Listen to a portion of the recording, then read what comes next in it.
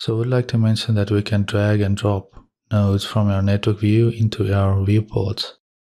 And this will have a different effect depending on what it is. So if it's a material, for example, we can drag and drop that onto an object in your scene, such as on this cube.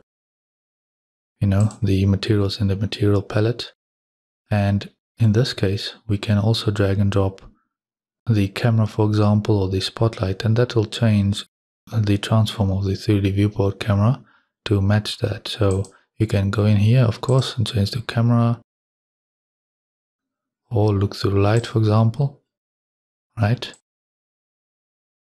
But we can also drag and drop these. So the camera, I'll left click and hold on that and drag it into my viewport. You'll see how my cursor changes, my mouse cursor.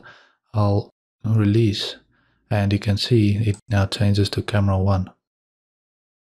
Okay, if we want to change to spotlight, I can left mouse button click and hold on the node, on the spotlight node, and simply drag that in onto my 3D viewport and then let go.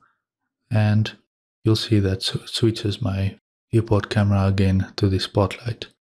So that is one way of switching, you know, between these different views. You know, instead of going in here, clicking on the menu and then looking forward through here somewhere to drag and drop things is much faster. So that is a cool feature that I hope you'll find useful.